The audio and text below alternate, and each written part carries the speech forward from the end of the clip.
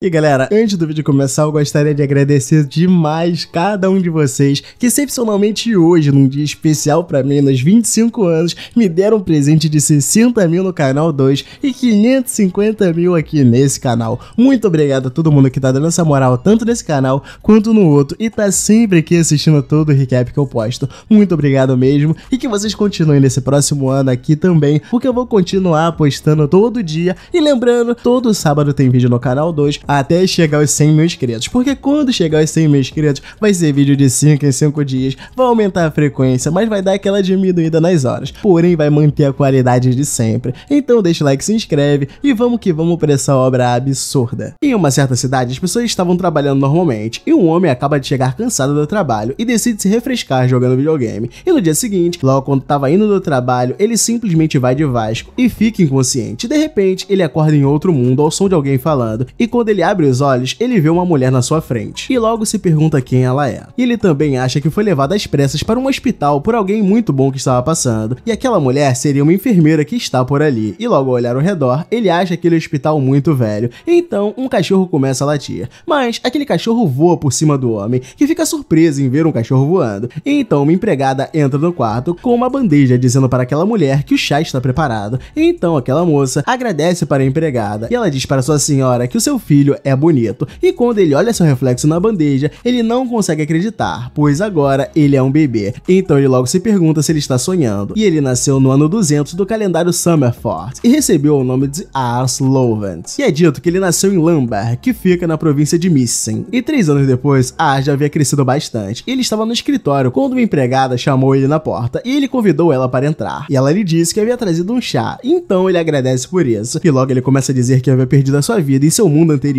e reencarnou como alguém chamado Aslovens. E desde seu nascimento, ele foi capaz de dominar a leitura e a escrita, o que fez ele conhecer esse novo mundo. E ele sabia que havia nascido no Império Samford, mas nunca tinha visto um mapa como aquele. Então isso fez ele perceber que não estava mais na Terra. E ele também descobriu que havia uma técnica conhecida como magia que as pessoas usam para conjurar fenômenos misteriosos. E ele achava que o mundo era como um jogo. E sobre a família na qual ele nasceu, ela se chamava Lovens, e ela era uma família nobre que estava encarregada de administrar uma pequena região chamada Lamborg, e sua casa era tão grande e bonita que Ars achava que era um castelo. Eles tinham muitos empregados para cuidar deles, e um cozinheiro que fazia refeições deliciosas para eles todos os dias. E o garoto afirma que estava feliz de ter reencarnado em um lugar tão bom. E desde seu nascimento, ele também aprendeu que possuía um poder que ninguém mais tinha. Então o garoto entra na sala de treinamento e surpreende todos os soldados. E o garoto pergunta a ele se ele poderia observar o treino dali da entrada. Então os soldados dizem que ele pode ficar bem a essa distância. Porém, eles ficam surpresos com fato do jovem mestre ir à sala de treinamento, e logo eles se convencem de que o garoto será um grande guerreiro quando crescesse, e A se aproxima de um dos mestres que está ensinando um soldado estagiário. E nisso, o mestre derruba o soldado e o repreende, mas o garoto se levanta e decide atacar novamente. Nisso, Ars usa sua habilidade de avaliação nele para ver as suas estatísticas, e ele percebe que o garoto tem uma grande aptidão para arco e flecha. Então o mestre chama o soldado para treinar novamente, porém ele parece exausto. Então Ars se aproxima do garoto, o chamando pelo seu nome, o que surpreende Miles, pois ele achava que Alice não sabia seu nome. Então o garoto pergunta se ele já usou um arco, mas Milley diz que nunca havia usado. Afinal, um homem de verdade não atira nos seus inimigos de uma distância segura. Porém, o garoto começa a sugerir que ele possa usar um arco muito bem e pede para que ele experimente. E Milley começa a pensar, porém todos os soldados botam pilha para que ele use o arco assim como o garoto pediu. Então Milley pega um arco e flecha, mas confessa que nunca atirou antes. Então um dos soldados sugere que ele se aproxime do alvo para reduzir o risco de se ferir. Mas Ares está confiante que ele pode acertar o alvo de sua posição. Então Miley se prepara para e aponta para o alvo. Ele simplesmente lança sua flecha, acertando em cheio o alvo, e todos acham que foi pura sorte, e pedem para ele tentar novamente. Porém, Miles atira várias flechas e todas continuam acertando bem na mosca, e todos os soldados ao redor dizem que ele nasceu para ser um arqueiro, e Miles já fica todo convencido, percebendo que usar um arco não é tão ruim. Afinal, como ele tem talento, tudo passou a ser justo na guerra. Então os soldados perguntam como Ares conseguiu descobrir que Miles seria bom com arco, e lhe diz que foi apenas seu instinto. Então os soldados ficam impressionados com isso, mas Ares sabe que se contasse a verdade sobre a sua habilidade de avaliação, eles não acreditariam nele. E embora sua habilidade fosse real, ele não conseguiu usá-la em si mesmo, o que não o deixou muito feliz. E durante o jantar, o garoto ficou impressionado pela refeição preparada pelo chefe, e quando ele ia comer, seu pai lhe chama. Então ele fica com um pouco de medo, pois seu pai parece bem irritado. Então ele usa a habilidade de avaliação para examinar a estatística de seu pai. Ele fica impressionado com o fato de seu pai ter conseguido passar de fazendeiro a nobre, usando as suas habilidades em artes marciais. E então seu pai fala sobre o que ele fez mais cedo, aconselhando aconselhando o soldado e fala para ele continuar aprimorando seus instintos, pois um dia ele pode vir a ser o senhor dessa terra. E nisso o garoto nota que realmente se ele for o senhor, ele vai precisar ter pessoas fortes ao seu lado. Então seu pai lhe oferece parte do seu jantar para que ele possa crescer mais rápido e mais forte. Então após aquele dia, o garoto estudou sobre o império e percebeu que o futuro pode ser um pouco vago, porque os líderes dali são corruptos e várias revoltas estão surgindo entre plebeus e vários nobres que estavam se concentrando na autonomia para reprimir as revoltas. E Ars temia que o império pudesse entrar em uma guerra total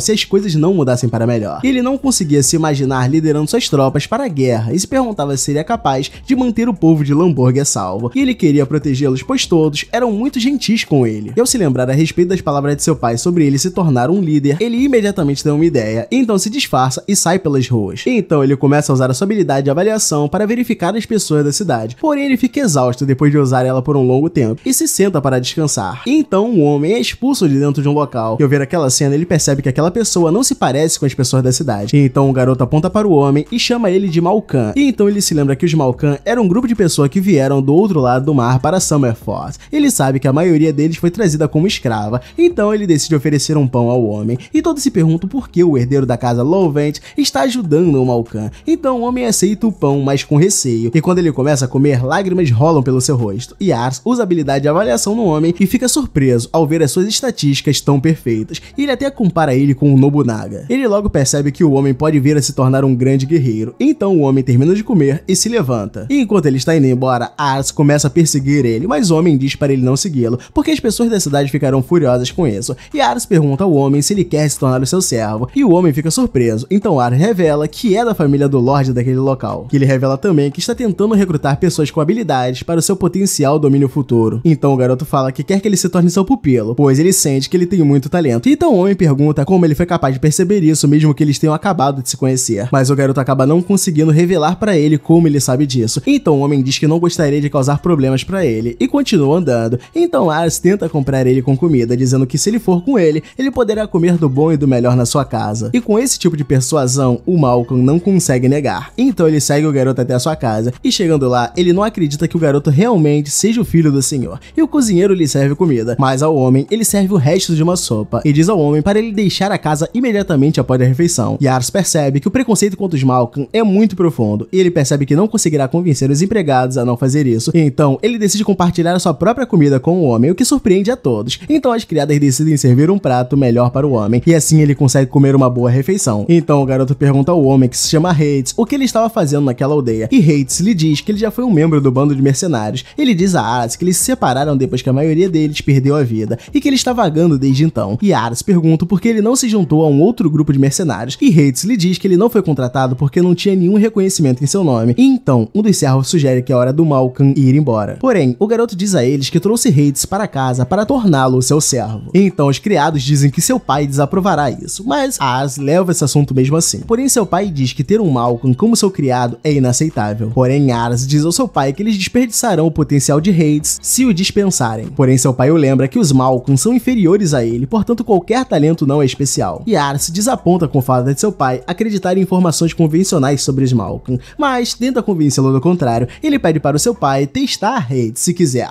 e o pai pergunta por que ele tem tanta certeza de seu talento. Então seu pai se lembra que ele descobriu o talento de Miles e decide testar Hades, já que Arts insiste. Ele fala que vai empregar o Malcolm caso ele consiga provar o seu talento. E seu pai fala que o teste será uma batalha simulada entre ele e Hades. E ele fala que ele será empregado caso consiga vencê-lo, mas Arts tenta convencer o seu pai de que o garoto não é um soldado e tenta convencer seu pai que o garoto não é páreo para ele. Porém, seu pai o lembra que Arts disse que Hades era bem talentoso, mas mesmo assim ele decide dar uma vantagem para ele. Tudo para compensar a diferença de proeza e diz que eles podem prosseguir, pois ele entende os termos. Eles saem da sala e Hades se pergunta o porquê o garoto está se forçando tanto para torná-lo seu servo. Ele acha que Ares está demonstrando piedade, mas o garoto pergunta se ele não quer se tornar o seu servo. Ele fala que pode cancelar o contrato caso ele não queira. Ele lhe diz que essa é a melhor oferta que ele já recebeu na vida. Ele acha que a oferta é inacreditável, pois os Malcolm costumam ser perseguidos onde quer que vão. E Ares lhe diz que precisa dele, pois um dia ele se tornará o senhor dessas terras e precisará de Hades ao seu lado. Então Hades lhe garante que fará o melhor que puder. Então ele entra na sala de treinamento e os soldados percebem que ele é o Malcolm, que o pai de Ares pede para Miles preparar as suas espadas, enquanto Grants traz uma ampulheta. Então ele ordena o garoto a pegar uma espada e lhe diz que se ele conseguir desferir um único golpe nele antes que o tempo acabe, ele vence. E Ares acha que Hades tem a chance a seu favor. E nisso, o pai do garoto pede para eles se apresentarem antes do duelo começar, e Hades se apresenta, e logo após ele se apresenta como Lord Raven. Então o duelo começa, e Raven ataca primeiro, mas Hades sai do caminho a tempo, e ele tem certeza que com aquele ataque ele seria cortado ao meio, mesmo que isso sejam espadas de treino. Então o duelo continua, e Ars percebe que Hades não tem a menor chance, mas os soldados ficam surpresos por ele conseguir segurar a sua espada contra o Lord Raven. Embora Hades estivesse acompanhando o Lord, ele não conseguia acertar um golpe nele. Então Raven logo acerta um golpe que o manda para o chão, mas ele se levanta. Então Raven lembra que lhe resta pouco tempo, e Hades logo se lembra de Ars dizendo que precisa dele. Então ele decide ir com tudo e até a aura do garoto muda. Então ele corre para cima de Raven e desliza por baixo e usa a luz do sol a seu favor para tentar acertar um golpe em Raven, mas ele bloqueia a tempo. Porém, do mesmo modo, ele anuncia que a batalha acabou. Mas Hades olha para trás e vê a ampulheta ainda funcionando, e todos percebem que Hades conseguiu acertar de raspão o Lorde cortando seu cabelo. Eles se perguntam quem ele é. E fazendo jus à sua palavra, Raven decide empregá-lo como soldado e Ars corre para parabenizá-lo pelo emprego. Então, Raven diz a Ars que a sua capacidade de sentir a proeza das pessoas é de alto nível e que ele está confiante de que Ars se sairá bem na era caótica que se aproxima, e ele está confiante de que Ars será um grande Lorde algum dia. Enquanto isso, todos os soldados se perguntam como Hades se tornou tão forte e se aglomeram em torno dele na esperança de descobrir o seu segredo. E mais tarde naquele dia, Hades, já vestido com seu uniforme, começa a caminhar com seu Lorde. E após conversarem um pouco, ele diz que vai dedicar a sua vida para seu Lorde para pagar esse débito com ele. E após destacar várias personalidades das mais diferentes pessoas,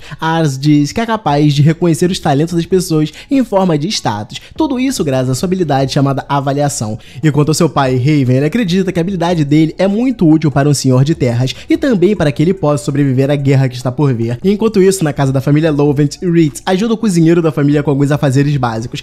Nisso, Ars nos informa que Ritz foi para sua casa há alguns meses. Desde então, ele segue sempre ao seu lado e não tem nenhuma participação na guerra. E com a educação que o garoto vem recebendo, ele aumentou muito a sua inventividade, conseguindo assim alcançar o posto de um dos jovens mais inteligentes do clã Lovett. E enquanto Ars segue seus estudos, ele se depara com dois funcionários elogiando Reed por conta de ser forte e muito inteligente, além de aprender qualquer coisa muito rapidamente. E falando nele, Reed vai até o garoto para eles estudarem novamente, e ele o ensina sobre o continente Summerfort, que antigamente era uma terra formada por sete reinos.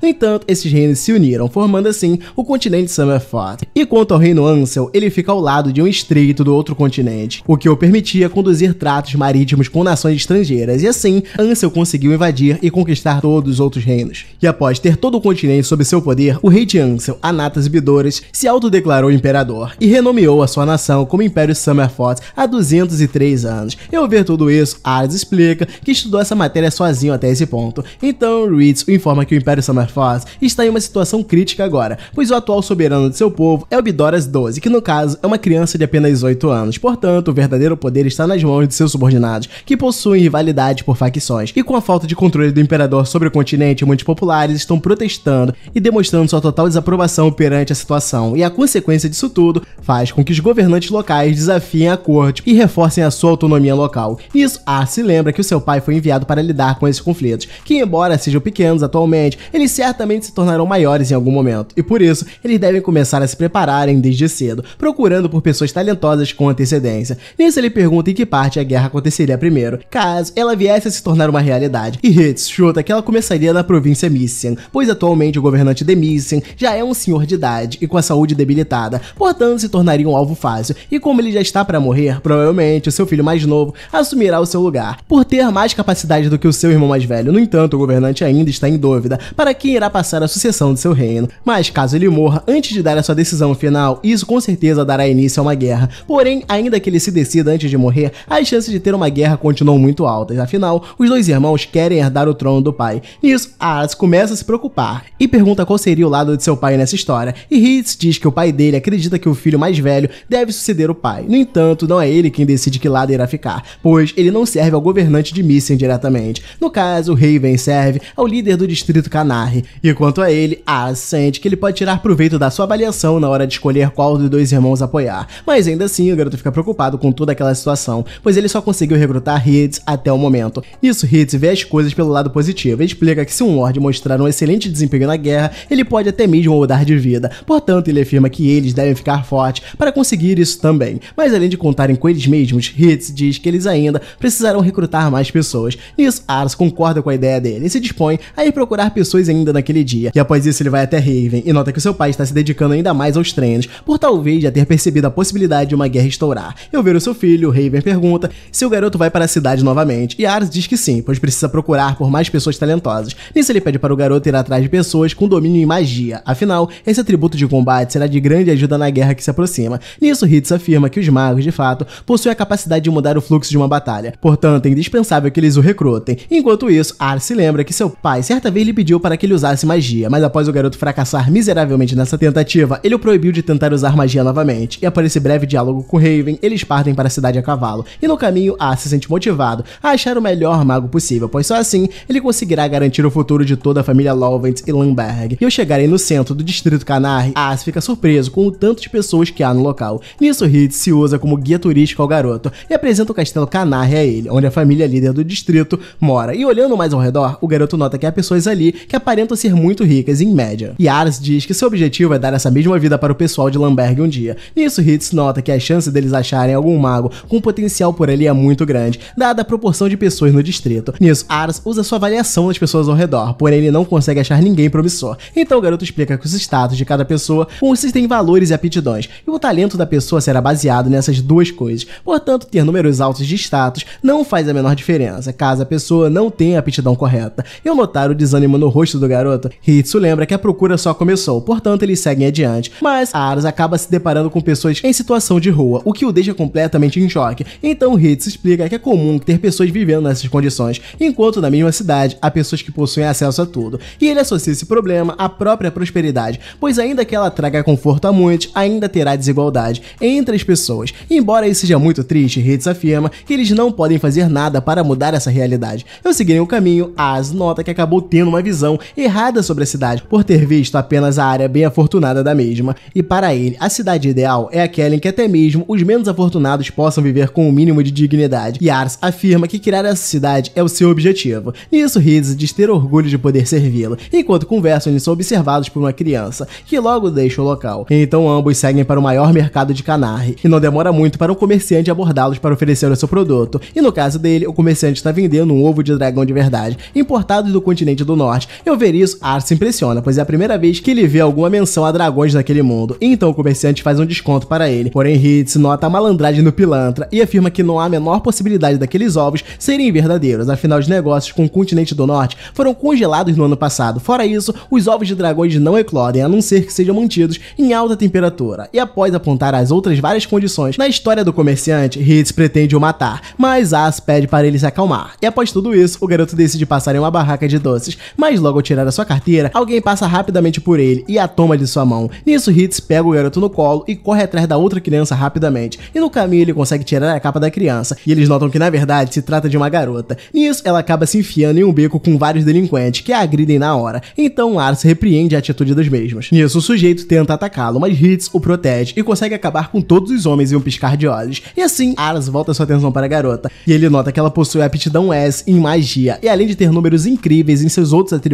E quanto a Hitz, ele se atenta apenas ao fato da garota ter roubado Ars, e pede para ela lhe devolver a carteira. Já o garoto, ele pergunta se ela gostaria de ser a sua serva. Nisso, Hitz fica sem entender nada, e o lembra que essa garota não passa de uma ladra. Porém, Ars explica que ela tem um talento incrível para a magia. No entanto, a garota diz que se recusa a servir um moleque como ele. E além disso, ela afirma que nunca usou magia antes. Nisso, Arasa lembra que ela passa por dificuldade, portanto, se ela o servir, não lhe faltará nada. E ouvir isso, ela sente como se ele estivesse olhando ela de cima para baixo, como um típico burguesinho. Dito isso, a garota afirma que não pretende se colocar à disposição dele com uma simples ferramenta apenas para ter uma vida mais digna. Então, Aras explica que não pensa do jeito que ela está sugerindo. Afinal, o seu objetivo um dia é criar uma cidade que não tenha mais a miséria, mas para conseguir isso, ele precisa da ajuda dela. Nisso, ela diz não ter paciência para esperar esse um dia, o qual ele está propondo. Fora isso, ela continua achando que ele só está contratando ela para parecer uma boa pessoa. Nisso, Hitz afirma que mesmo ela sendo humilde, isso não justifica os seus esforços. Portanto, ela deve devolver a carteira. Então ela devolve, mas fala que só fará isso por ele tê-la salvado naquele momento. E por falar nisso, Ars pergunta quem eram aqueles homens, e ela explica que eles são lacaios de escravagistas. E ela, por sua vez, foi pega invadindo o depósito de comida de um nobre, e por isso ela acabou sendo vendida para um comerciante de escravos.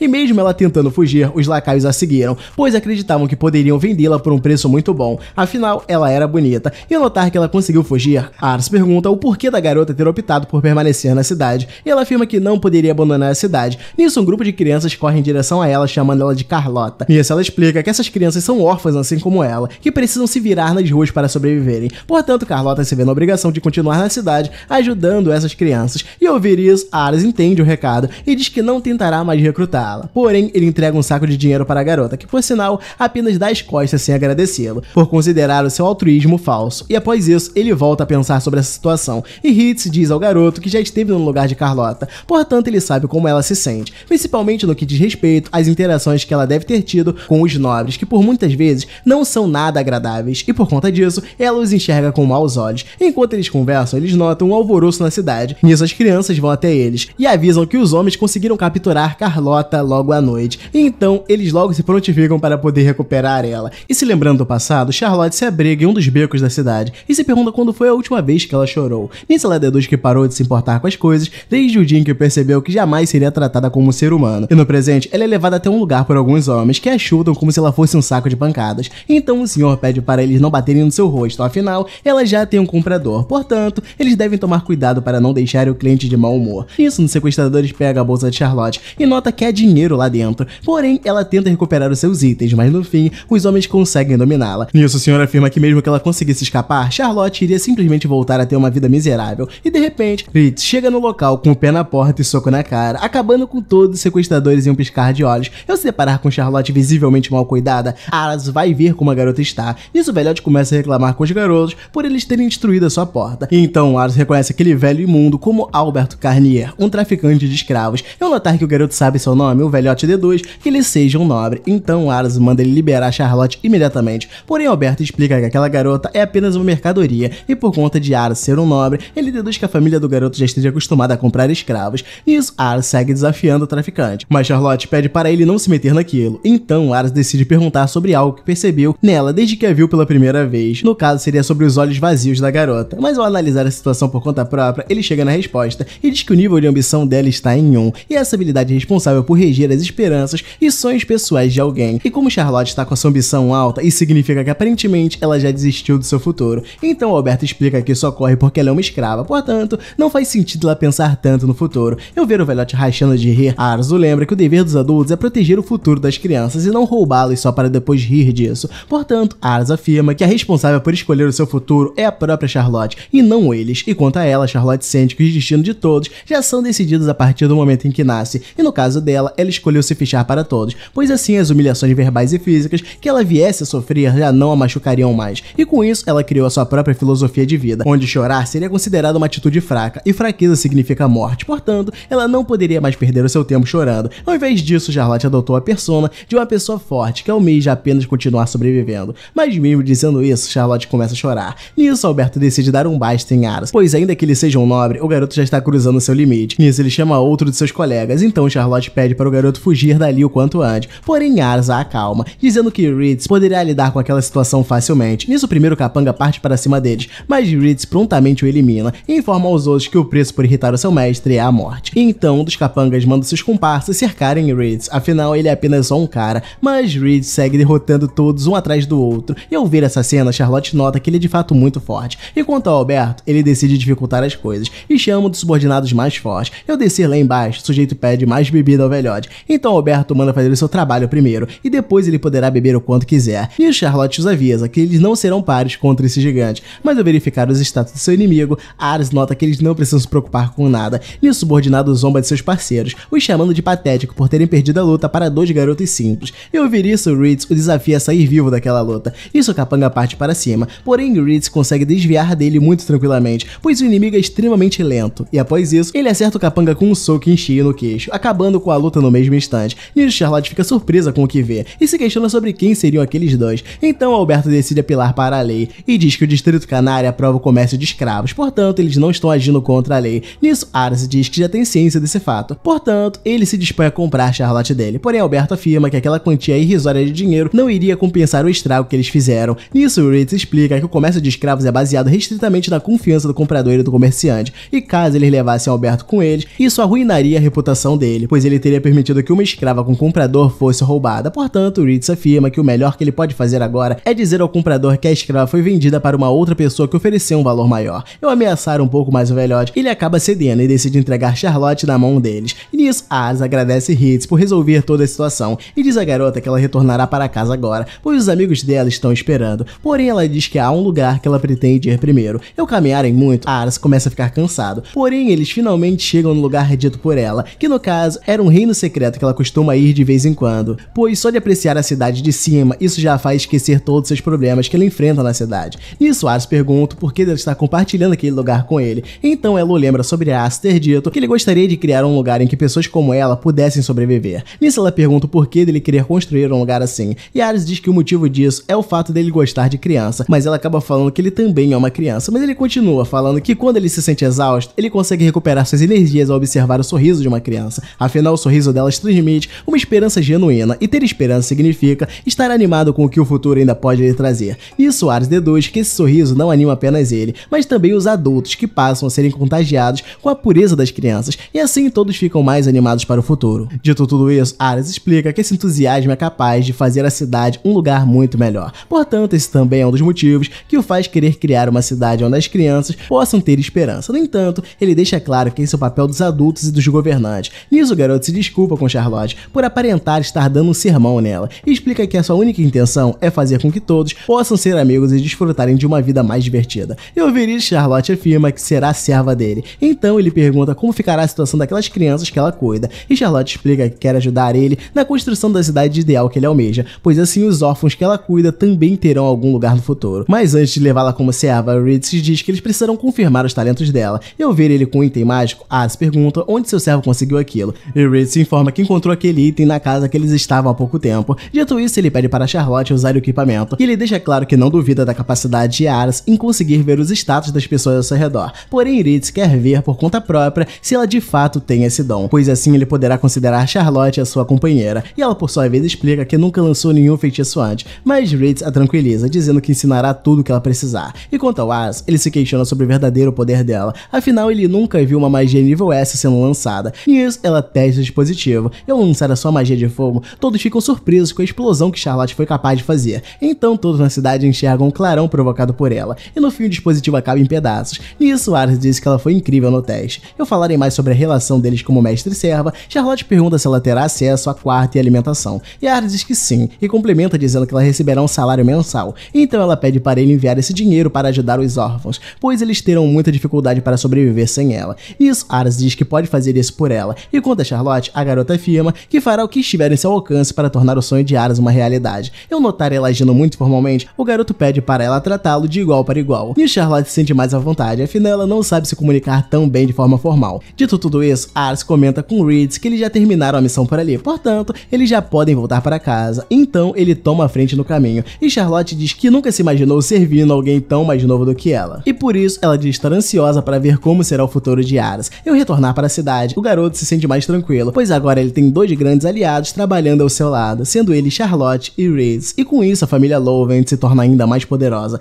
E embora ele seja o líder disso tudo, ele se sente muito pressionado, pois diferente deles, Aras sente uma pessoa muito comum, e isso deixa na dúvida sobre a sua competência para gerenciar aquele time. Afinal, se ele estragar tudo, ele estará atraindo a confiança que os seus aliados têm nele. Mas ao se lembrar do seu objetivo em construir uma cidade excelente, Aras volta a erguer a sua cabeça. Ao pararem para comer, Reeds nota que eles precisarão começar a ensinar boas maneiras e também falas básicas para Charlotte. Mas ao ouvir isso, ela afirma que essas coisas são muito chatas, mas Reeds explica que ela precisará aprender tudo isso, caso queira acompanhar o mestre em suas refeições. Ao retornarem para casa, o pai do garoto afirma que o campo de batalha é muito perigoso para uma mulher. Nisso, Pede para ela demonstrar um pouco de sua magia para ele, e quando ela faz isso, o pai dele fica encantado e imediatamente muda sua opinião, contratando a garota e dando as boas-vindas para ela, a família Lovett. Então, três anos depois, o pai de Ares volta para casa e ele fala que seu pai tem sido enviado constantemente para a fronteira para defender suas terras. E ele fala que o melhor disso tudo é que a moral dos soldados voltou a aumentar e eles estão felizes indo para lá. E ele vai até seu pai perguntar como foi a batalha. E ele fala que eles tiveram êxito, porém a grande estrela da batalha foi aquela garota.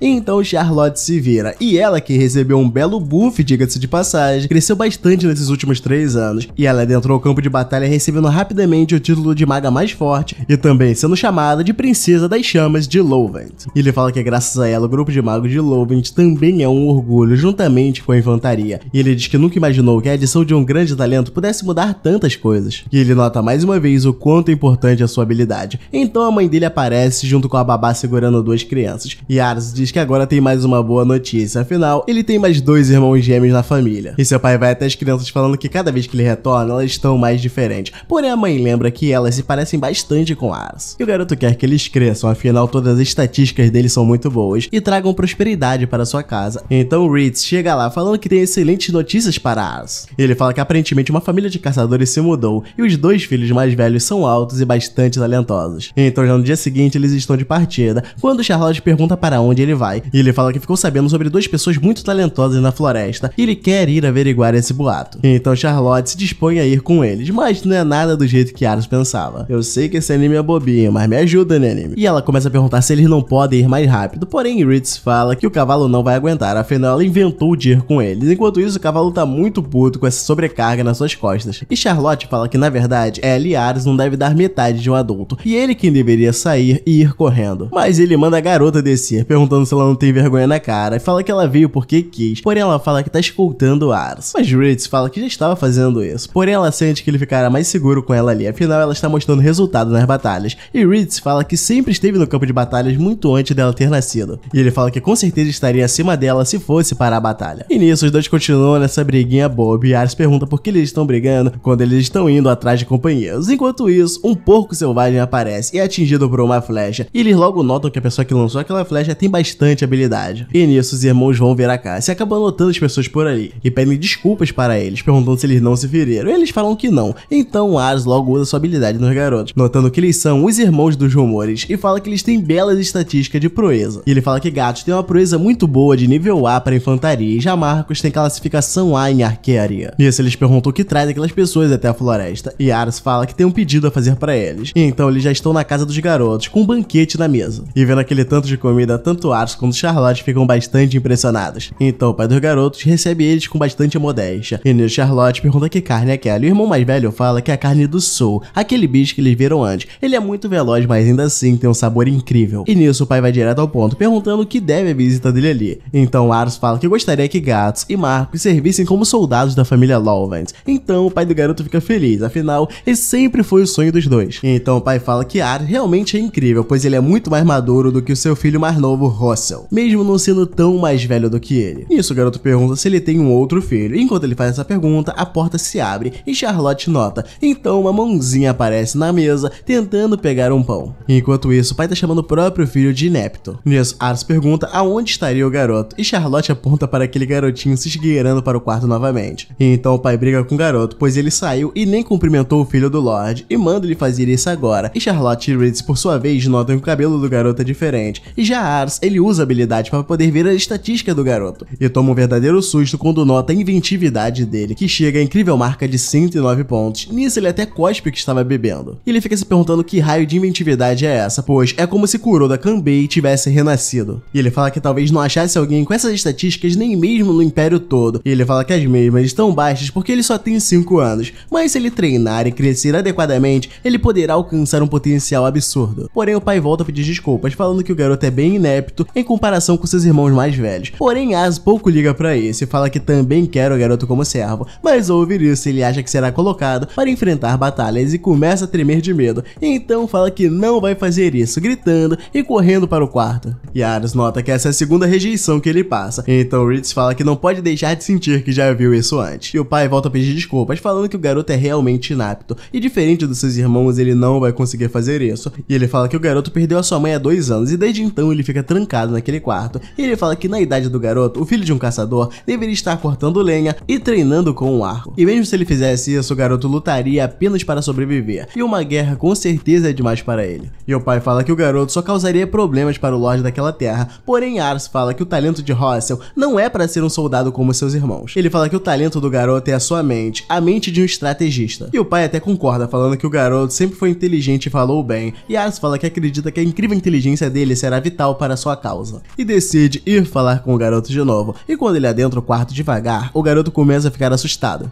E Ars acalma ele, dizendo que apenas queria se desculpar. E logo nota um livro na mão do garoto e pergunta se ele gosta. E o garoto obviamente responde que sim. Porém, esse é o único livro que ele tem ali. Ele fala que sua mãe vivia lendo isso para ele. E fala também que ele é horrível em tudo que faz. Porém, quando ele está lendo, ele pode esquecer todas as coisas ruins ao seu redor. E nisso, Ars pergunta para o garoto se ele gostaria de visitar a biblioteca de sua casa. E o garoto logo pergunta se tem muitos livros lá. E Ars fala que sim, e fala que ele pode pegar quantos livros quiser. Porém, o garoto logo fica arisco, falando que ele sabe o que ele quer fazer. Pois assim que ele pegar um livro, Ars vai forçar ele a fazer o que ele quiser. Mas Ars fala que não é nada disso, ele apenas achou que o garoto gostaria de ler livros. Então ele concorda, falando que se assim ele poderá ir. Então ele fala que só irá se seus irmãos também vierem. Afinal, se acontecer alguma coisa e ele estiver sozinho, o garoto fala que com certeza vai morrer. Porém, logo ao chegar na casa, o cachorro de Ars vai lamber o garoto e ele acha que é uma fera selvagem. Então eles notam que aquela casa é muito maior que a deles e também notam algumas pessoas com armaduras. Cara, essa armadura é horrorosa, mas pelo menos se assemelha muito ao que nós tivemos na realidade. Então os garotos ficam maravilhados com isso. E Ars fala que Charlotte poderia mostrar o lugar para ele, apresentando ela como a comandante maga dali. Porém, ela não fica nada feliz com essa tarefa. Então os garotos ficam surpresos por ver uma comandante mulher. E ela logo muda seu discurso, falando que eles têm bastante futuro por ali e fala que eles podem segui-la. Logo após isso, eles levam o garoto até a biblioteca e falam que lá tem um exemplar de cada livro que tem naquela região. Então Aras vai estudar e deixa Ritz com o garoto. Porém, após os estudos, ele acaba dormindo e acorda atrasado e desce lá correndo para ver se o garoto ainda estava lá. E quando ele pergunta para Ritz, ele acha o garoto dormindo ali. E Ritz fala que ele leu uma pilha impressionante de livros e foi dormir. E ele também aprendia palavras que nunca havia visto, simplesmente sozinho, e também pensava para aprofundar os conhecimentos que adquiriu. Então Ars usa sua habilidade no garoto e nota que a inventividade dele está aumentando a olhos vistos. E nisso os irmãos voltam para buscar o garoto, só que notam que ele está dormindo em meio a uma pilha de livros e falam que isso é estranho, afinal o garoto nem sabe ler e pergunta qual é a graça daquilo. Mas Ars acha isso estranho, então pergunta por que disso, e o garoto fala que sua mãe sabia ler, mas eles como são caçadores não precisam disso e por isso nunca aprenderam. Mas então o garoto acorda e Ars logo pergunta para ele como ele conseguiu aprender. E ele fala que sua mãe sempre leu para ele. E com isso ele tentou combinar o que ela lia com as palavras da página e assim ele conseguiu descobrir como ler. Mas seu irmão fala que o garoto só tinha 3 anos naquela época e ele revela que se lembra da maioria das coisas desde quando ele nasceu. E notando que o garoto aprendeu a ler sozinho, As pensa que não pode deixar um talento como esse passar desapercebido. Ele fala que o talento de Russell com certeza é incrível, mas ele pergunta como vai fazer os Kisha notarem isso. Então Ritz fala que se ele puder mostrar ao Greg e ao Russell que eles têm maneira de caçar sem arco, isso possa servir. Então ele vai direto ao garoto falando sobre armadilhas que podem ser úteis para tempos que não se pode caçar com arco. E Russell diz que já leu sobre isso no livro, mas seus irmãos falam que Soul é uma espécie bastante inteligente e normalmente não cairia numa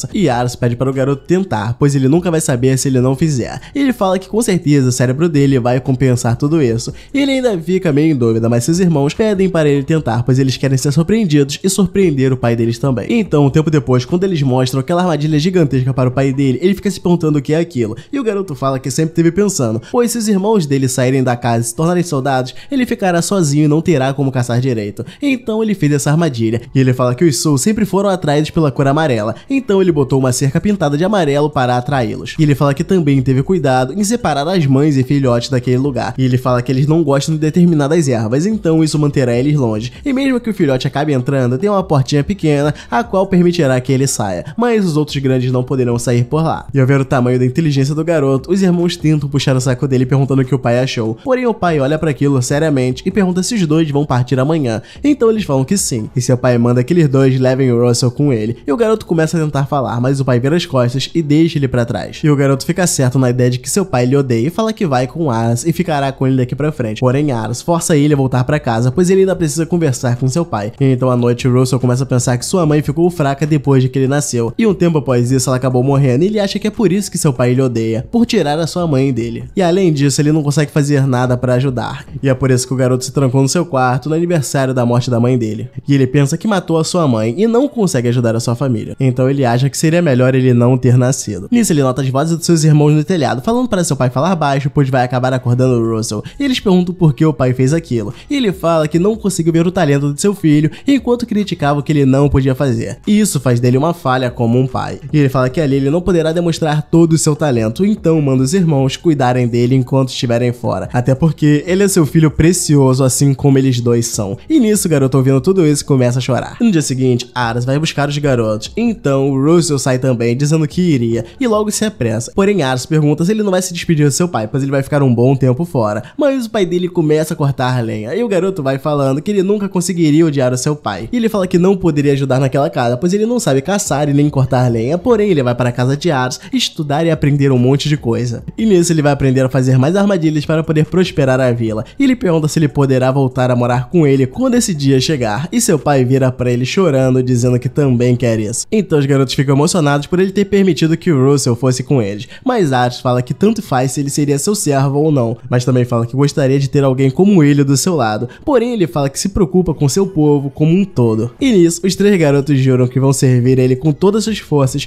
por bastante tempo. E após o pai de Ares adoecer, o garoto sugere liderar a próxima incursão. Porém, Raven novamente se diz contra essa ideia, pois, dada a situação atual, ele não pode se ausentar de suas responsabilidades. Nisso, Ares explica que há um ano o governador de Missem faleceu devido a uma doença. Em seu testamento, o governador nomeou o seu filho mais novo, Vazmark, como seu sucessor. No entanto, o irmão mais velho, Kouran, insistiu em dizer que Vazmark falsificou esse tal documento. E quanto a ele, Kouran era considerado por todos como pouco promissor. No entanto, ele vinha fazendo seu nome em batalhas, e com isso vários Selvos passaram a acreditar que ele deveria herdar o trono de seu pai, de acordo com a tradição, e dessa forma a província Missem se parte entre aqueles que apoiam o irmão mais novo e o mais velho. E aproveitando a situação, a província vizinha, Seitz ficou mais ofensiva. Nisso, Aras nota que precisará participar dessa batalha. Porém, o pai dele afirma que o garoto deveria estar mais preocupado com seu noivado do que com qualquer outra coisa. Mas ao ouvir isso, Aras demonstra não estar sabendo desse suposto casamento arranjado.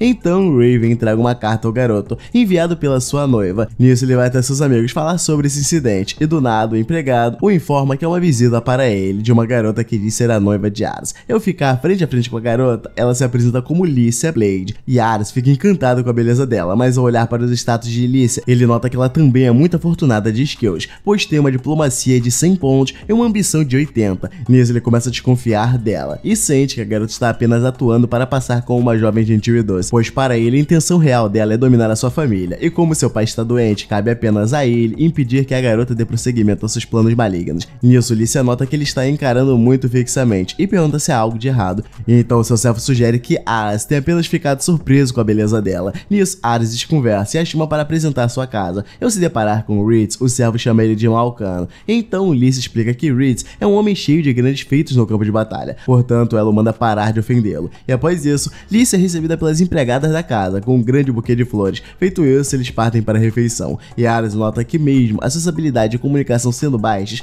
Lícia sempre mantém o assunto vivo. E além disso, ele realça todas as outras qualidades da garota. E com isso, Ares afirma que se não fosse pela sua habilidade de avaliação, ele estaria aos pés dela nesse momento. Nisso, a garota volta a puxar assunto com ele e comenta sobre a cidade de Lambert que visitou no caminho até a casa dele. Então, o garoto se desculpa por não poder apresentar o local a ela por conta da chuva. Porém, Lícia demonstra saber que o tempo estava para mudar. Ares se confunde, achando que ela é capaz de controlar o clima. Porém, Lícia explica que já sabia que aquela chuva seria passageira. Dito isso, ela pede para ele guiá-la pela cidade. E quanto aos seus servos, eles ficam da porta, observando toda a cena e comentam que Lícia aparenta ser uma pessoa mal intencionada, mas Ares sai com a garota mesmo assim. Ao passar por um grupo de senhoras, ele apresenta Lícia como a sua noiva. Porém, ele esconde o fato dela ser uma possível ameaça para o reino. E seguindo mais adiante, Ares se depara com dois caras discutindo. Então a moradora explica que houve algum problema no pedido de uma pedra mágica que resultou nessa situação de discussão entre os dois homens. Nisso, Ares sente que esse é um problema que ele deve resolver. Porém, ele fica com medo de acabar falhando na frente de Lícia. Então Charlotte vai até o local e sugere usar uma magia para acabar com a confusão. Nisso, Lícia vai até ela interagir com a garota e fala que é muito fã da maga Charlotte. E após elas se cumprimentarem, Lícia pede para Asa deixá-la resolver esse problema. E também pede para ele atender no favor para ela caso consiga resolver a situação. Nisso, a garota vai até os homens e diz que eles ficam mais fios quando estão bravos. E ao vê-la, eles perguntam quem ela é. Então Lícia informa que é a noiva de Asa, o futuro senhor da casa Lovent. Nisso, os homens ficam felizes por ele. E a garota diz que ficou sabendo sobre a confusão envolvendo as pedras mágicas do som. Então ela pede para que o sujeito venda para a casa Plaid. Afinal, eles não conseguem extrair pedras mágicas do som em seu território. Isso faz com que as pedras sejam muito preciosas para o seu povo. Em contrapartida, Alice afirma que eles conseguem extrair muitas pedras mágicas de fogo devido a um vulcão perto de seu território. Portanto, ela diz estar disposta a vender essas pedras para eles em um preço baixo. Afinal, o seu povo possui pedras mágicas do fogo em abundância. Dito isso, a garota afirma que toda essa ideia veio de Ares. Nisso, os homens ficam surpresos em ver a disposição de Ares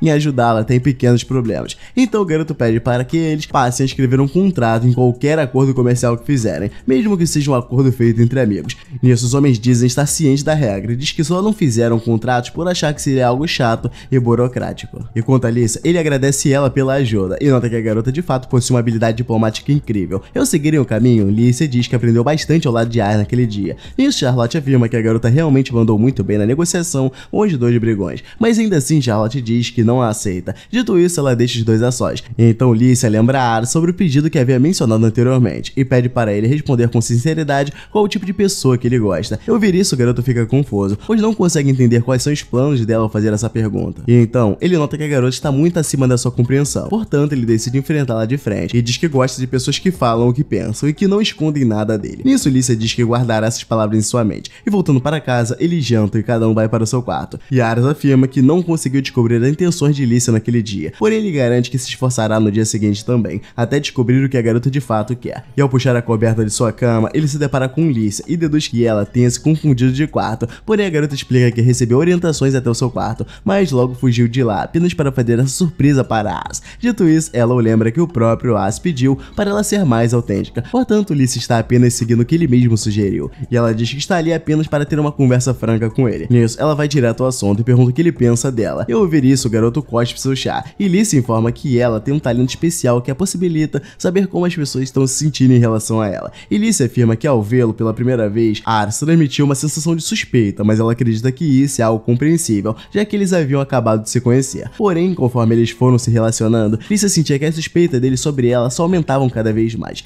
Então ela pergunta o que ele tanto desconfia nela. Nisso, Ars revela que possui a capacidade de ver as habilidades, aptidões e nível de ambição de uma pessoa, e como ela possui altos níveis de habilidade diplomática e ambição, Ars sentia que cada passo que ela dava era friamente calculado, visando um objetivo oculto. Ao ver isso, Lícia nota que todas as ações dele fazem sentido até agora, e ela confirma que realmente possui uma ambição muito alta, e no seu caso, essa ambição está relacionada com seu desejo de encontrar um homem incrível que ela se apaixone pela primeira vista. Nisso, Ars fica todo bobo encarando fixamente e nota que ela tem razão em almejar um casamento com um homem poderoso, afinal, esse é o melhor caminho para a sobrevivência da filha de um senhor. Porém, Ars não se enquadra nesse esquisito de poder, e por isso acredita que não é o homem ideal que ela busca.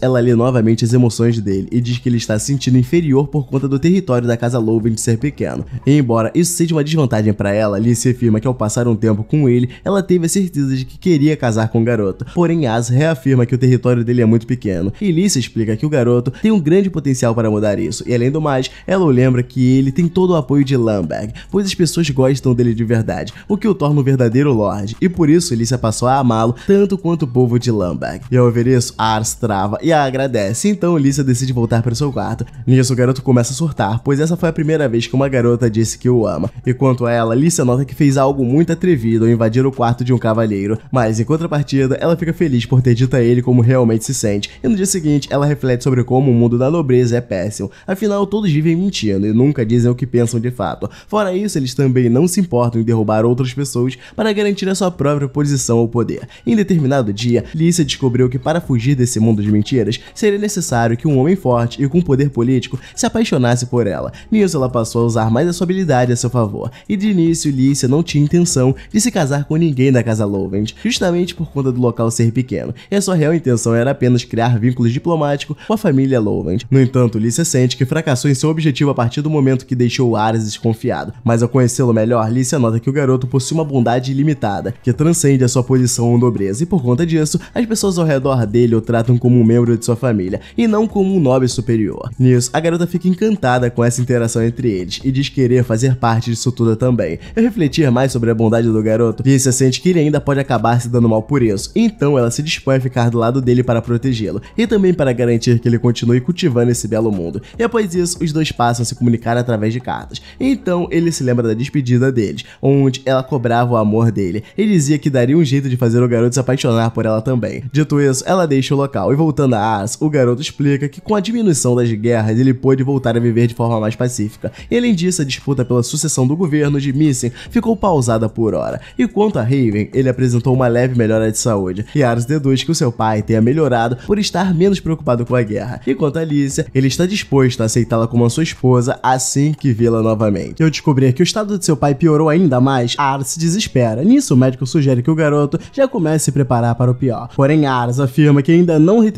tudo que seu pai fez por ele, portanto, ele almeja tê-lo por mais algum tempo. Enquanto isso, no Castelo Arcantes, o governador é morto por uma pessoa misteriosa que em seguida se joga pela janela, deixando os guardas confusos. Nisso, o pai de Aras o informa que o governador de Mission foi assassinado e Russell sugere que uma guerra terrível começará em breve. Afinal, a morte do governador fará com que a disputa pela sucessão entre os irmãos atinja o seu auge, pois os chefes de cada distrito de Mission serão obrigados a ficar ao lado de um dos irmãos. Nisso, Raven sugere que Lumière, o chefe do distrito Canarre, fique do lado de Coran, o irmão mais velho, e quando isso acontecer, Lamberg certamente o seguirá. E além disso, Raven diz ao Ritz que provavelmente Lamberg irá convocá-los, portanto ele deve manter as forças do reino prontas para agirem a qualquer momento. Dito isso, ele decide começar a se preparar também. Quando tentar se levantar, Raven cai na cama, e após isso, Ares recebe uma carta de Lumière, onde ele pede para eles se reunirem no Castelo Canarre dentro de três dias. Nisso, Ritz se dispõe a ir a essa reunião com Charlotte, afinal, Raven está indisposto no momento, porém Ares diz que dessa vez é ele quem deve ir para a reunião, e chegado o dia, eles finalmente adentram o reino Canarre. Nisso, eles seguem para o castelo, e Ares se apresenta como filho de Raven Lovent, e diz que está ali em resposta à convocação de Lumière. Ao analisar a veracidade do convite, o guarda nota que ele é real, mas desconfia de Ares, por ele ser apenas uma criança. Porém, ele nota a presença de Charlotte, a princesa das chamas de Lovent, e também de Ritz, o ceifador. Mas ao ouvir esse nome, Ritz diz que não gosta de ser chamado de ceifador, pois isso o faz parecer terrivelmente perigoso. E quanto a Ares, ele afirma que a presença daqueles dois já é o suficiente para provar que ele faz parte da família Lovent. Então eles finalmente conseguem entrar no castelo. E andando um pouco pelos corredores, eles se deparam com Menos Renard, que se apresenta como responsável por servir Lumière. Nisso, a se apresenta e diz que está ali amando de seu pai. Em seguida, o garoto usa sua habilidade para ler os status de Renard e nota que a média dos status dele é definitivamente alto, o que o faz ser um oponente forte para qualquer tipo de lutador. Nisso, Renard diz que ficou sabendo dos grandes feitos dos companheiros de Ares, portanto ele gostaria de tê-los a seu serviço no castelo. Em troca, Renard garante que eles terão uma boa vida por ali. Então Reeds agradece a oferta, mas deixa claro que já jurou lealdade vitalícia à casa Lovent. E quanto a Charlotte, ela diz o mesmo que ele. Nisso, Renard os entende e diz que a casa Lovent, de fato, deve ser um excelente lugar a se viver. E após essa breve conversa, Ares é levado até a sala onde se encontram os chefes e os outros domínios. Então, Ares se apresenta para todos, mas logo nota os homens todos quietos e decide apenas se sentar em uma das cadeiras vazias. Feito isso, Ares deduz que eles não o levem a sério por ele ser apenas uma criança. Porém, Kral, o chefe de Colmier, elogia a presença do garoto. Nisso, Ares se lembra desse senhor, pois Kral brincava com ele quando o garoto era menor. E após olhar para o lado, ele nota um outro chefe encarando com raiva. Em seguida, Lumière finalmente aparece por lá, e Ares usa sua habilidade mais uma vez para ver o status dele. Nisso, o garoto nota que Lumière, de fato, possui estado condizente com o de um chefe de território. Além disso, o que falta em Lumière é compensado pelo seu servo Renard. Nisso, Lumière se desculpa por tê-lo chamado ali, mesmo eles sendo tão ocupados, e os informa sobre a guerra iminente que está para acontecer, devido ao assassinato do governante. E dado todo o contexto, Lumière afirma que o território de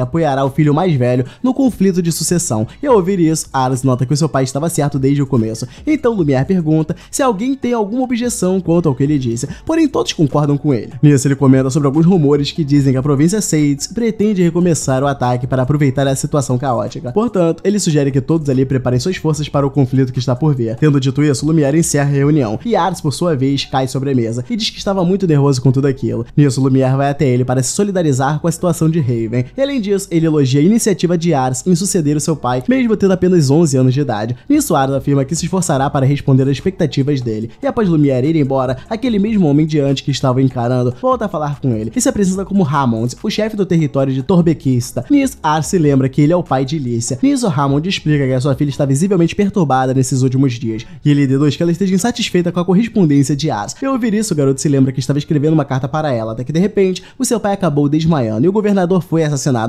o que fez com que ele não conseguisse terminar de enviar a carta. Porém, Ares sente muito e garante que terminará de escrever a carta assim que voltar para casa. E quanto a Hammond, ele explica que a sua filha costuma ser muito calma e controlada, portanto, ele acredita que Lícia deva gostar muito de Ares e se culpa por não ter percebido isso antes, pois Hammond se preocupava apenas com assuntos relacionados ao território e ao militarismo do reino, e isso fez com que Lícia se sentisse cada vez mais isolada. E além disso, ela também presenciou brigas feias entre os nobres, o que a deixou em uma situação muito mais complicada. E levando tudo isso em consideração, Hammond diz que quer apenas ver a sua filha encontrando a felicidade que tanto buscou. Embora a culpa pela infelicidade dela seja em parte dele, Hammond acabou direcionando toda sua raiva apenas para Ares. Então ele se desculpa por esse erro e pede para que o garoto seja um bom noivo para sua filha. Nisso, Ares promete fazer tudo que estiver ao seu alcance para fazê-la feliz. Após a reunião, ele volta para casa e diz ao seu pai que Lumière está de fato apoiando Coran, assim como ele havia dito. Nisso, Ares deduz que o seu pai esteja irritado por descobrir que ele foi à reunião sem lhe avisar. Mas ao invés disso, Raven encosta gentilmente a mão na cabeça do garoto e o parabeniza por ele ter saído bem nessa missão. E após isso, Ares volta para seu quarto para terminar de escrever a carta para Alicia e explica que não pode enviar a carta para ela antes devido à movimentação repentina que deu em sua vida. Além disso, o garoto diz que conheceu o pai dela, que por sinal demonstrou ser um ótimo pai, que se importa muito com a garota. E quanto à guerra, ele diz que a situação continua muito preocupante. Portanto, a única coisa que resta é para eles torcerem que as casas Lovent e Plaid possam trabalhar juntas para superarem isso. Ao terminar a carta, Ares decide voltar aos treinos. Ao ser golpeado por Reed, ele começa a pedir desculpas, porém o garoto pede para ele ir para cima com mais força, pois ele precisa ficar forte para encarar a guerra que está por vir. Afinal, a última liderança que ele fez de suas tropas em uma batalha simulada foi um total fracasso. Nisso, Ares diz que já leu muito sobre a guerra, porém ainda não tem experiência real com ela. E além disso, o garoto ainda se sente intimidado quando vê soldados de verdade vindo em sua direção. E embora ele tenha Ritz e Charlotte no campo de batalha para apoiá-lo, Ares sente que decepcionará caso não fique forte em campo também, pois mesmo ele sendo muito forte, eles precisam de uma liderança firme para guiá-los. E de repente, Russell aparece por lá e informa que Sates está despachando forças para Comiar. Portanto, Lumière pede para eles entrarem em campo imediatamente. Nisso, Rich diz que se a província de Sage estiver invadindo Missing, eles terão poucas maneiras para controlar a situação. E caso Comiar realmente seja invadido, o domínio ainda menor de Lambert será conquistado em pouco tempo. Nisso, Arce lembra que o seu pai não está em condições de ir para a batalha, portanto ele se sente pressionado a ir no lugar dele. E diz para Ritz que liderará as tropas. Ao reunir todos os homens na frente da mansão, Ares informa que os liderará na batalha para proteger o território de Canar. Porém, seu pai aparece bem na hora e diz que ele ainda não pode deixá-lo entrar no campo de batalha. Portanto, ele liderará as tropas dessa vez. Mas Ares insiste e diz que Raven não está em condições para ir para a guerra. Porém, Raven afirma que não se arrependerá se morrer a serviço do distrito Canar. Nisso, Reed tenta intervir também. Porém, o pai de Ares pede para ele ficar de fora desse assunto. Então, o garoto entende que ele de fato é fraco. Porém, ele garante que ficará seguro, pois tem Reed e Charlotte ao seu lado. Mas ao ouvir isso, Raven vai direto ao ponto e diz que Ares ainda não tem cara de guerreiro e por isso deve ficar fora de batalhas. Então o garoto pergunta o que isso quer dizer, mas seu pai tenta mostrar isso na prática. Dito isso, seu pai manda um guarda trazer Barra Morda, que no caso é um criminoso que cometeu vários crimes hediondos.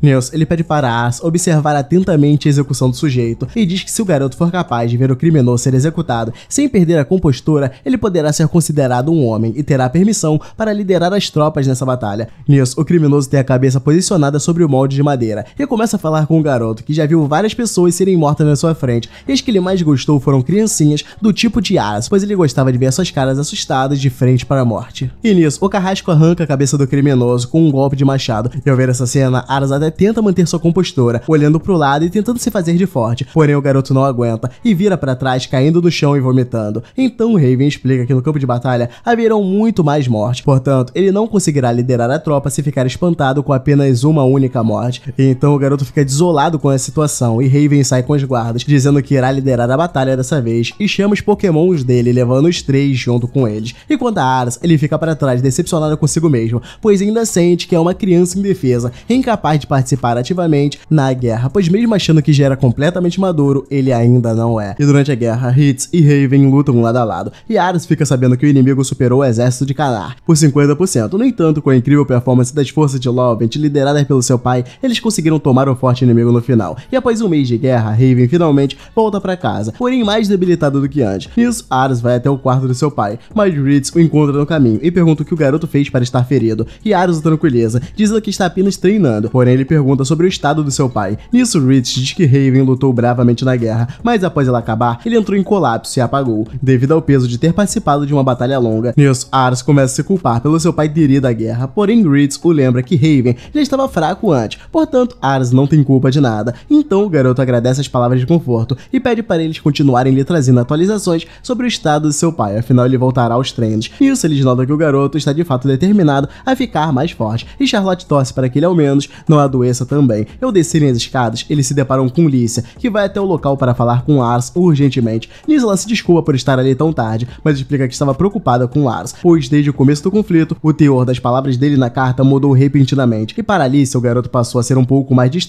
e sem muitas emoções. Nisso, Ritz diz a ela que Ars tem os seus motivos para estar assim, mas decide não falar muito sobre. Porém, Lícia pede para ele falar o que está acontecendo, pois ela está muito preocupada com o garoto. Então Charlotte sugere que ele conte logo tudo o que esteve acontecendo nesses últimos tempos. Nisso, Lícia descobre que Ars presenciou uma execução e por ter se apavorado, Raven optou por não deixá-lo ir à guerra. E ao invés disso, ele decidiu encarar a guerra mesmo estando doente. E após a guerra, sua saúde piorou consideravelmente. Nisso, Ars começou a se culpar por não ter conseguido convencer o seu pai a deixá-lo ir para a guerra, pois isso piorou o estado de saúde de Raven. E ao ver isso, Lícia também se sente culpada, pois mesmo sendo a noiva dele, ele, ela não pôde fazer nada enquanto Ars sofria. Nisso, ela vai até ele durante seu treino, e Ars, mesmo cansado, decide continuar lutando, por isso seu pai, mesmo doente, conseguiu lutar por um longo período de tempo, portanto ele também conseguirá fazer o mesmo. Eu vi-lo tão ocupado, Lícia nota que agora não é o momento certo para falar com ele, e de repente, a empregada vai até eles informar que Raven acabou de voltar à consciência. Nisso, Keisha se empolga com a notícia e decide ir contá-la ao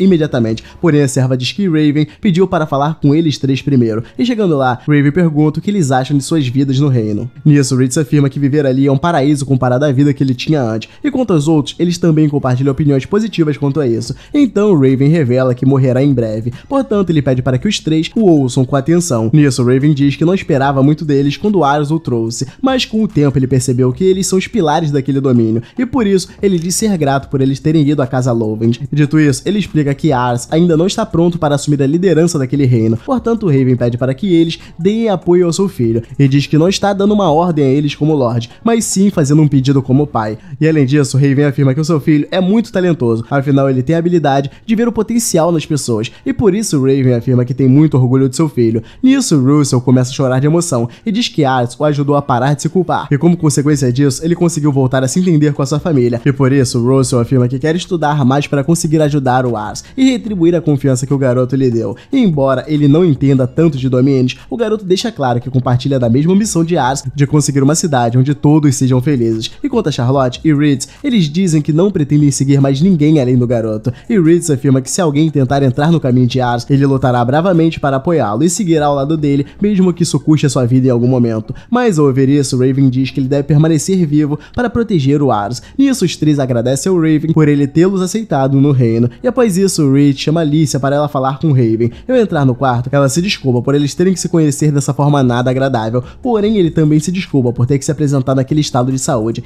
Nisso ele pergunta se ela se lembra da primeira vez que os dois se viram, e a garota por sua vez fica surpresa, pois não se lembrava de já tê-lo visto. Porém, Raven diz que foi ele quem propôs que ela fosse a noiva de seu filho, pois quando ele a viu pela primeira vez, ele percebeu que a garota tinha uma postura muito madura para a sua idade, e além disso, ela também aparentava ser uma pessoa muito gentil, e por ver essas qualidades nela, ele decidiu que Lícia seria a garota ideal para ficar ao lado de Aras. Nisso, ele confessa que o território da casa Lovend de fato é pequeno, e o seu filho realmente não é tão confiável, e ao ouvir isso, a garota o corrige em relação ao Aras, dizendo que ele está se esforçando para se tornar cada vez mais como Raven. Nisso, ele se sente mais aliviado ao ver que a garota realmente se apaixonou pelo seu filho, e pede para ela o chamar. Nisso, ela deixa o quarto e diz a todos que Raven quer ver o Aras. Então, Ritz e os outros se viram para ir chamar o garoto imediatamente, porém Lícia chama a atenção dele novamente e agradece Ritz pela gentileza.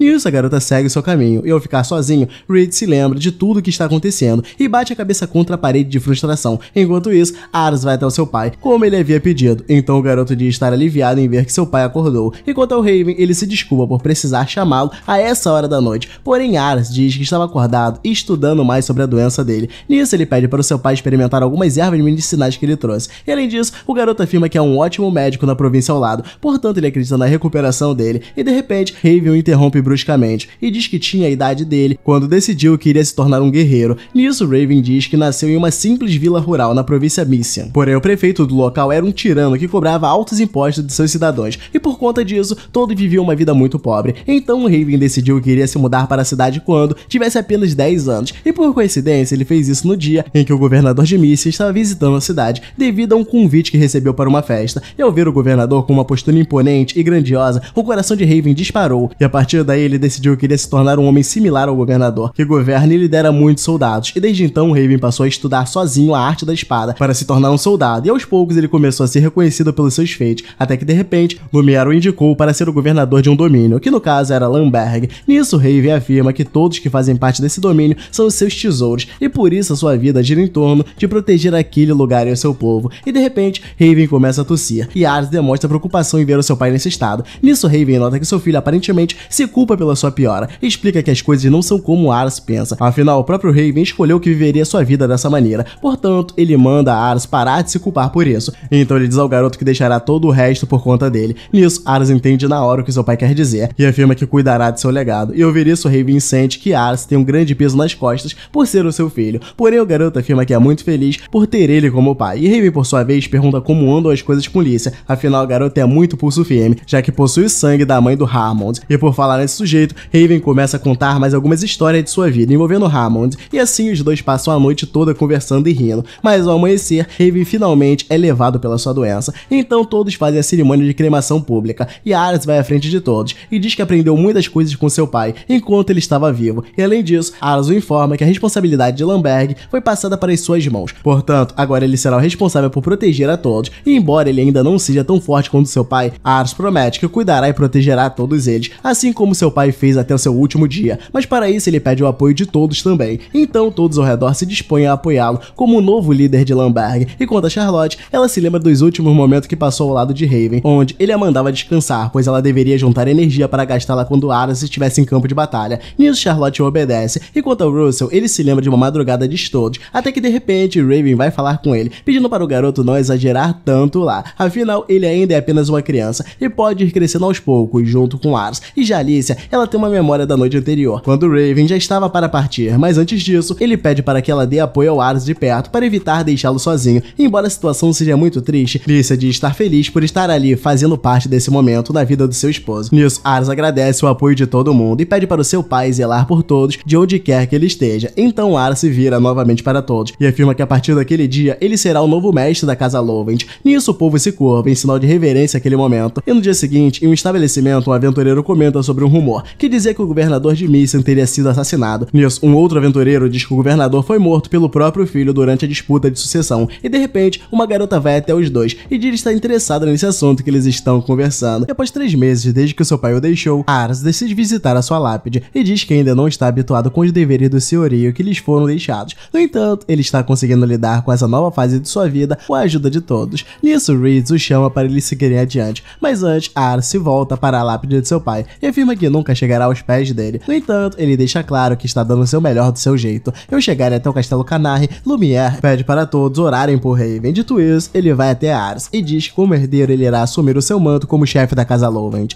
Nisso, o garoto se apresenta como um novo senhorio, e embora ele ainda seja inexperiente, Ars se dispõe a dar o seu melhor para cumprir o seu papel. Nisso, Krau nota que o semblante do jovem garoto se tornou um pouco mais nobre, e quanto a Lumière, ele diz ao Ars que agora ele está em pé de igualdade com todos ao redor daquela mesa. Dito isso, ele volta para o assunto principal da reunião e comenta sobre o armistício entre Kouran e Vazmark. E no caso de Kouran, ele já reuniu com sucesso seu exército, e dado esse contexto, ele pede para Menas terminar de explicar toda a situação. Nisso, ele informa que a capital da província, Missen, Arcante, está ocupada por Vazmark, o irmão mais novo, e ele, por sua vez, possui soldados e recursos muito além do reino de Canarre. E quando seu irmão mais velho, ele controla toda a cidade comercial de Semplar, o que lhes dá uma maior liberdade econômica, e já o poder dessa cidade, ele é basicamente igual. Isso significa que a lealdade dos distritos vizinhos será um fator decisivo muito importante, e por essa razão, Kouran está tentando proteger os distritos vizinhos. No entanto, Perreina é o único distrito que se recusa a ceder, mesmo tendo apenas um exército pequeno. E embora eles tenham essa desvantagem numérica, a rota mais direta para atacar Arcantes passa por Perreina. Dito isso, Lumière afirma que se eles não tiverem Perreina sob controle, eles não terão linhas de abastecimento eficiente para a frente. E isso, por sua vez, diminuiria as chances deles vencerem a guerra. Então, nota que eles precisarão fazer eles cederem à força. Portanto, eles devem começar usando a sua tática para subjugar Perreina. Mas ao ver isso, Ars pede para Lumière deixá-lo tentar usar as suas medidas antes de partirem para o ataque. E assim voltamos para a mansão de Lovent alguns dias atrás. Então, Russell nota que tem algo que não bate no que eles estão discutindo. Afinal, Perreina está praticamente cavando a própria cova ao se manterem resistindo, pois ao fazerem isso, eles ficarão suscetíveis aos ataques inimigos. E levando isso em consideração, Russell acha que há mais alguma coisa nessa história que eles ainda não sabem. Enquanto a Reed, ele sente essa mesma estranheza. Nisso, Russell afirma que ao atacá-los sem descobrirem o que eles estão tramando pode ser algo perigoso. Portanto, ele acredita que o melhor que eles podem fazer é descobrir primeiro toda a situação que envolve Perreina. Nisso, Ara se questiona de como eles podem fazer para obter essa informação. Então, Reed sugere que eles contratem mercenários. No caso, os Sombra, um grupo de mercenários que são especialistas em reconhecimento. Nisso, Ars pede para Reed os colocar em contato com essas pessoas. E quanto ao Russell, ele se lembra que o teor da reunião no conselho será a subjugação de Perreina. Portanto, eles podem propor que eles resolvam qualquer coisa relacionado a isso. E voltando ao presente, Aras explica que é muito estranho eles se recusarem a ceder, mesmo estando encurralados. Portanto, ele sugere que eles primeiro descubram o motivo que faz Perrine adotar essa posição, pois fazendo isso eles saberão melhor o que fazer a seguir. Nisso, Lumière decide dar ao Aras um tempo para investigar. Então eles deixam o castelo. Em seguida, Charlotte é abordada pelos órfãos que ela cuidava. Nisso, Aras explica que deixou todos eles no orfanato que ele havia construído, por confiar muito na senhora que cuidava do local. E além disso, ele também havia pedido para a senhora abrigar o máximo de órfãos que fosse possível. Nisso, ele nota que as garotas já têm quase idade para se tornar independentes. E enquanto conversa com eles, um dos órfãos diz a Charlotte que irá fazer o teste para entrar no exército de Lumière. Nisso, uma das garotas diz que pretende trabalhar como empregada doméstica no castelo de Canarre. Então todos compartilham seus sonhos e agradecem ao Ars por tudo que ele fez. Afinal, ele literalmente mudou a vida de todos ali. Mas ao ouvir isso, Ars diz que não os ajuda sozinho, pois Charlotte continua mandando a maior parte do seu salário para o orfanato. Nisso eles agradecem ela também. E voltando para o orfanato, Charlotte nota que a melhor coisa que eles fizeram foi deixar as crianças por ali. E Aras afirma que mesmo Lamberg sendo um lugar muito bonito e bom de se viver, os órfãos terão mais oportunidade se ficarem em uma cidade grande. E no meio da conversa, Alicia vai até eles e diz que estava no castelo de Canarre com seu pai, até que ficou sabendo que eles estavam por ali e resolveu ir vê-los. E ao ver ela, Aras fica completamente em choque. Afinal, eles não se veem há muito tempo. E Alicia, por sua vez, nota que o lugar